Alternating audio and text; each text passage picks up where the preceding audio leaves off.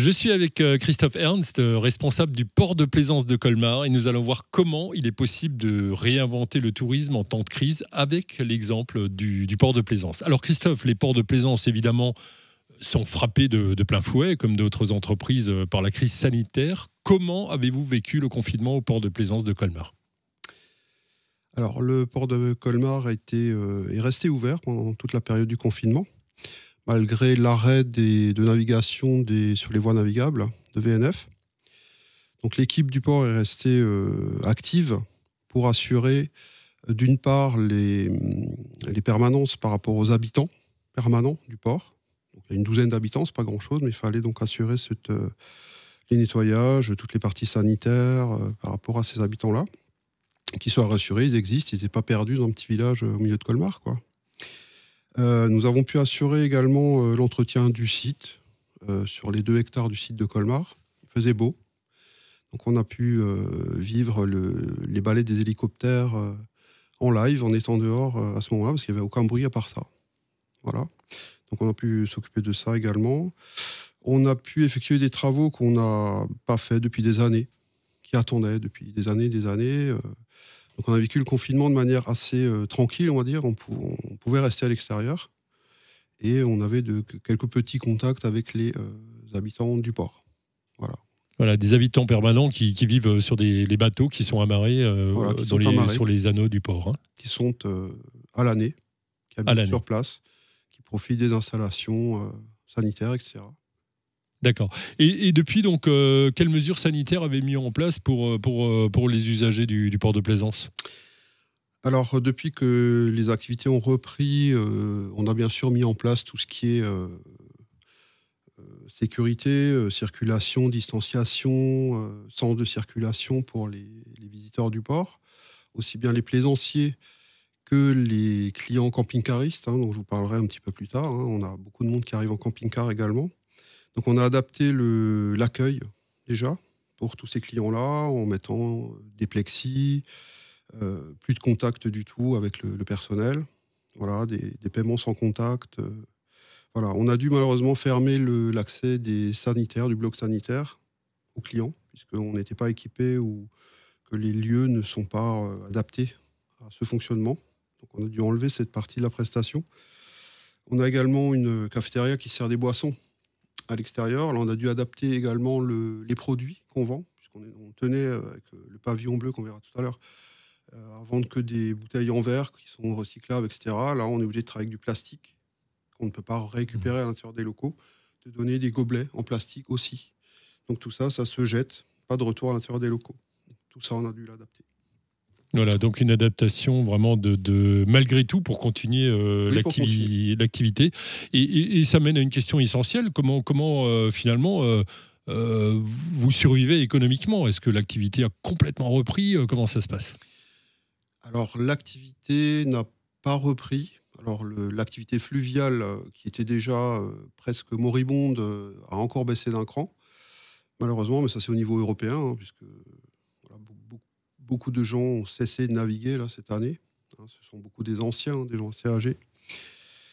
Euh, l'activité camping-car, euh, qui est notre, euh, béquille depuis quelques années, a baissé également cette année de presque 60%. Donc c'est le résultat après juillet-août et presque fin septembre. Hein. Alors pour pallier à tout ça, on essaye faire, d'adapter notre discours par rapport aux gens qui viennent chez nous malgré tout. Tout le public européen, et de les garder le plus longtemps possible sur place. C'est-à-dire, euh, au lieu qu'ils fassent un passage éclair euh, à Colmar pour visiter la petite Venise dans une tarde flambée, on leur euh, explique tout ce qu'il est possible de faire localement, donc à pied, en vélo ou en louant un petit véhicule, et d'augmenter le temps moyen sur place. C'est-à-dire de rester plutôt deux jours, voire trois jours, voire quatre, ça, c'est euh, l'offre qu'on essaye de développer. On remplace un petit peu l'office du tourisme en quatre langues euh, pour ça. Ça, c'est vraiment notre, notre bolo. On a été classé meilleur aire de camping-car de France par les, le site mobile.de allemand, qui est la référence en camping-car en Allemagne. Et donc tout ça, ça permet de, faire venir du, de la clientèle germanique ou germanophone qui se, qui, se calquent un peu là-dessus. C'est leur référence. Quoi. Donc, tout ça, c'est très très bon pour nous. Mais malgré tout, on reste, c'est très faible.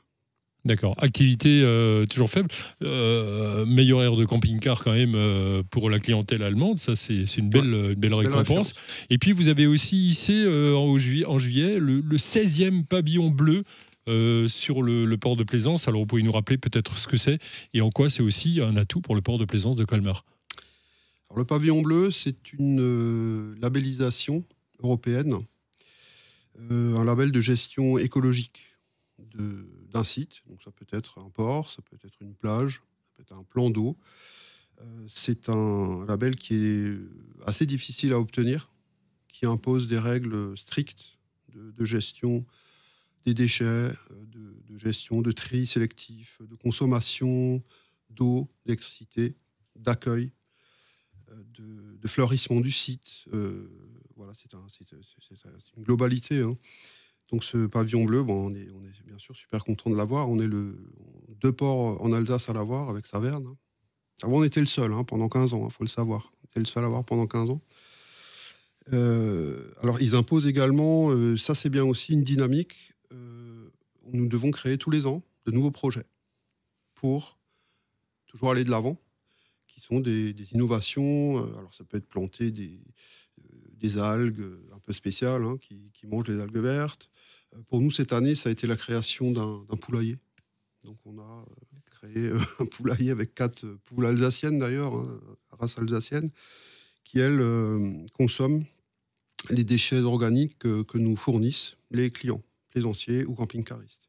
Donc, on intègre ça dans le discours quand ils arrivent. On leur donne un petit sachet recyclable et ils nous amènent leurs déchets. En échange, on leur donne des œufs. C'est gratuit. Donc ça, c'est, euh, on a été cité au, niveau européen pour cette action cette année, pour le port de plaisance de Colmar. il faut... C'est rigolo, c'est bien. C'est d'innovation. C'est l'innovation. Très bien. Donc de beaux projets finalement euh, qui, qui, et de belles récompenses. Euh, alors quels, quels sont les, les, projets pour 2021 Alors les projets pour 2021, bien évidemment vu la situation pour nous, c'est de, c'est de programmer ou de, reprogrammer les événements qui, avaient lieu avant sur le site du port. Alors évidemment, il y a l'accueil des, touristes euh, classiques. Il y a également des événements qu'on avait créés euh, en été, euh, qui étaient les jeudis du port. Donc c'était quatre concerts les jeudis soirs qui permettaient de faire venir le public colmarien ou les touristes hein, qui étaient présents sur place, avec des concerts gratuits, avec des thèmes différents chaque fois, des thèmes même très locaux, hein, avec du Oberkreiner, des trucs comme ça. Euh, on a l'intention de créer un mini salon euh, camping-car aussi, pour faire venir de la clientèle, euh, pour élargir un petit peu la camping-cariste dans le secteur chez nous. C'est un projet pour l'année prochaine. On a des pistes pour relancer la location de bateaux électriques sur le canal, puisqu'on a arrêté la location des bateaux thermiques. Hein, ça, s'était arrêté. Donc ça, c'est une belle piste aussi. On a un gros projet d'aménagement pour le site du camping-car, de 70 places automatisées. Et ben, une fois que ce sera en place, eh bien, on pourra créer d'autres euh, offres d'hébergement. On a une grosse piste sur le gîte fluvial, donc qui permettrait de créer euh, à Colmar, à 10 minutes du centre-ville, de l'hébergement sur des bateaux, donc euh, de la petite hôtellerie entre guillemets, un peu à la mode hollandaise par exemple, comme Amsterdam voilà, ça c'est un des projets. Et on a encore des petites idées de partenariat avec le festival de jazz euh, Off à Colmar pour faire euh, deux, trois scènes en automne euh, l'année prochaine. Voilà. Alors ça bouge, ça bouge au port de plaisance de, Colmar, ça bouge beaucoup. pour le soleil brille à Colmar au port de Plaisance et on peut en profiter et on peut vous retrouver. Vous avez un site internet, hein, c'est ça? Bien sûr, voilà. Donc port de Plaisance de Colmar. Vous tapez port de Plaisance Colmar et vous tombez dessus tout de suite. Voilà. Merci beaucoup à vous, Christophe Ernst. Merci beaucoup à vous.